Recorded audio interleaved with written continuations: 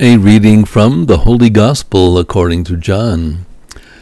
Jesus said to his disciples, This is my commandment, love one another as I love you. No one has greater love than this, to lay down one's life for one's friends. If you are my friends, you will do what I command you. I no longer call you slaves, because a slave does not know what his master is doing. I have called you friends, because I have told you everything I have heard from my Father.